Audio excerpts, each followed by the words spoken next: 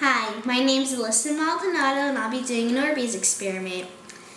Now, I remember from our last video we had the two Orbeez to um, do different liquids to see which one would grow the fastest or grow most big.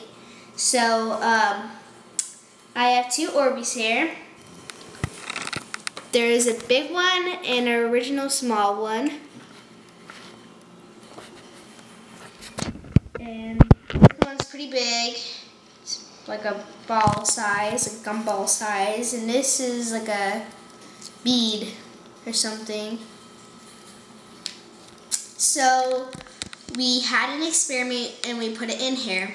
This is what the little one turned out to be. And this is what the big one turned out to be. As you can see, there is a very big difference.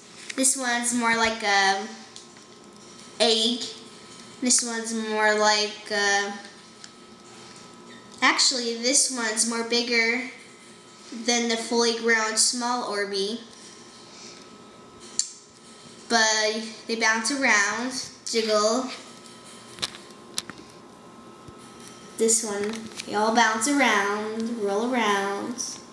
But they are very fragile, so can break easily. And that's my experiment.